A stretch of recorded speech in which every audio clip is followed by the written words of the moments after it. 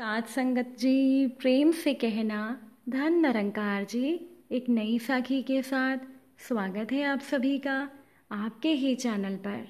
तो चलिए, आज की साखी सुनते हैं। सात संगत जी, एक कुम्हार था, जिसका नाम था सोहन।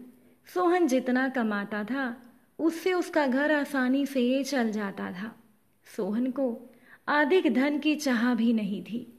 वो दिन भर बर्तन बनाता दोपहर में बर्तन बेचने जाता और शाम को घंटों बांसुरी बजाता।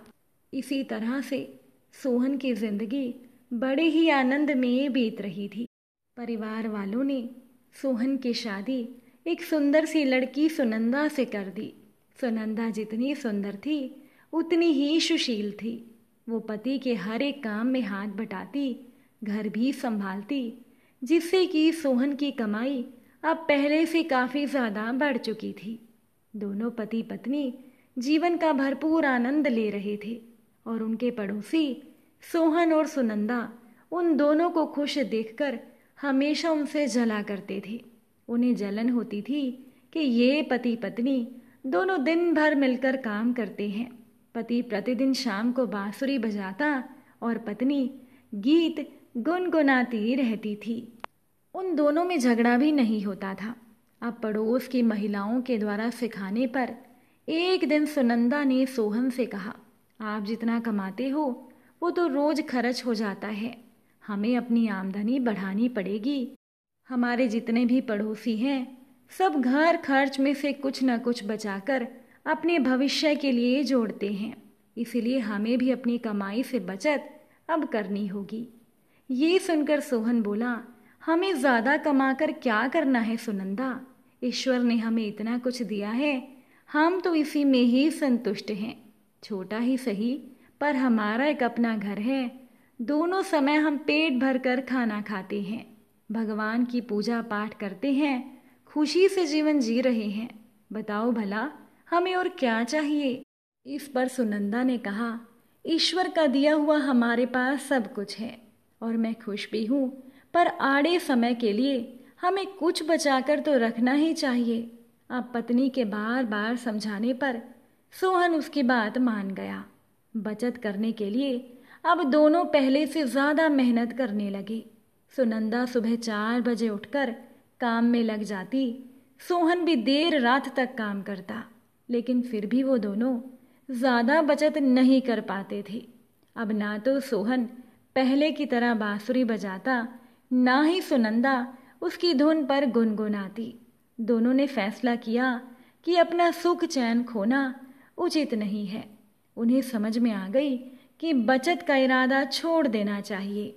अब यही सोचकर, बचत का इरादा छोड़कर, वो पहले की तरह ही अपनी मस्त ज़िंदगी जीने लगे।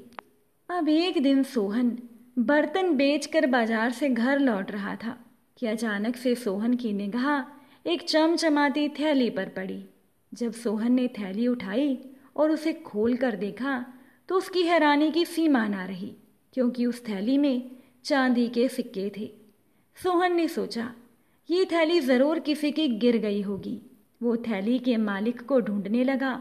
उसने चारों तरफ़ देखा, लेकिन दूर दूर तक उसे कोई दिखाई नहीं दिया। इसीलिए हार कर सोहन ने उस थैली को ईश्वर का दिया हुआ उपहार समझकर अपने ही पास रख लिया। घर आकर सोहन ने ये सारी बात अपनी पत्नी सुनंदा को बताई। सोहन बोला, सुनंदा, तुम आड़े वक्त के लिए कुछ बचाकर रखना चाहती थी ना? सो ईश्वर ने हमें ऐसे आड़े समय के लिए ये उपहार दिया है। ईश्वर को धन्यवाद करके सुनंदा ने थैली खोलकर सिक्कों को गिना। थैली में चांदी के पूरे निन्यानवे ये सिक्के थे। दोनों पति पत्नी खुश थे। दोनों खुशी खुशी विचार विमर्श करने लगे।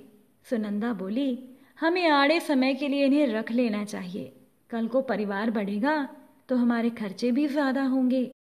पर सोहन बोला, अरे निन्यानवे तो शुभ नहीं होता।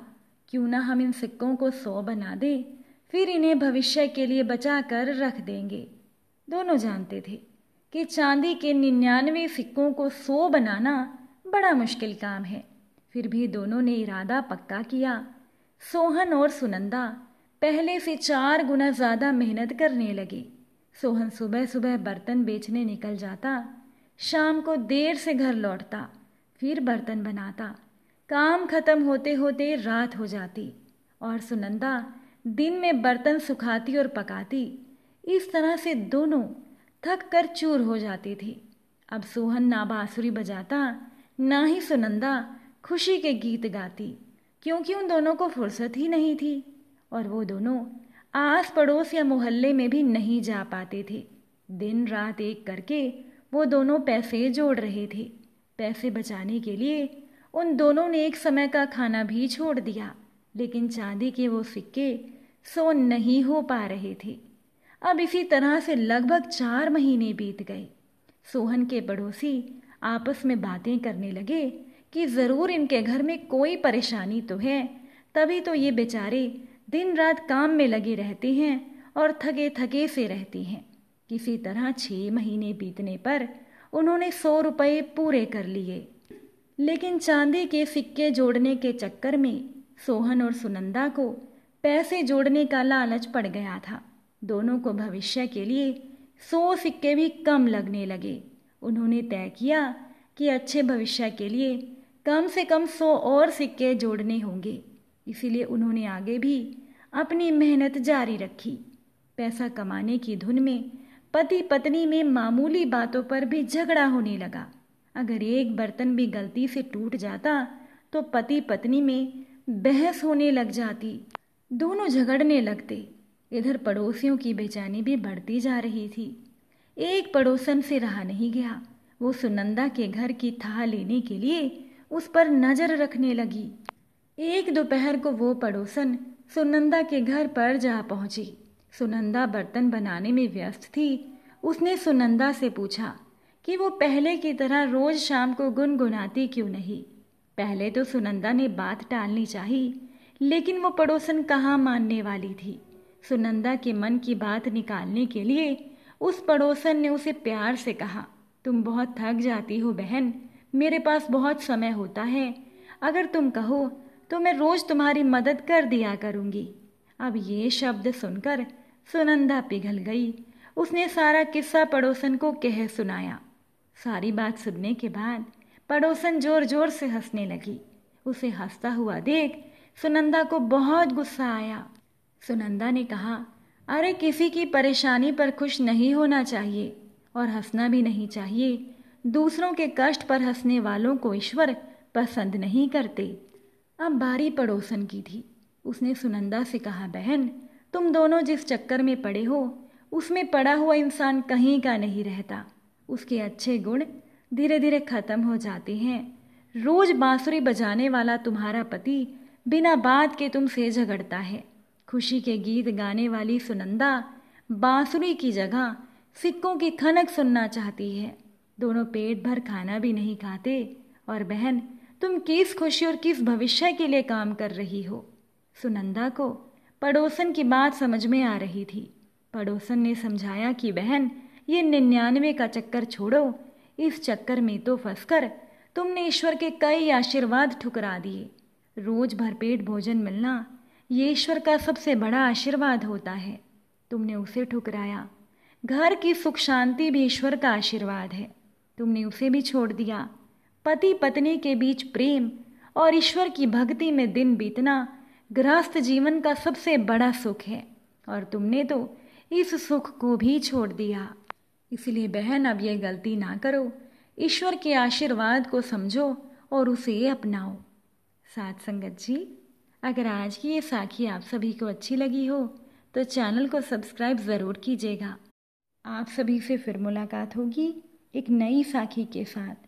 सात संगत जी प्यार से कहना, धन निरंकार जी।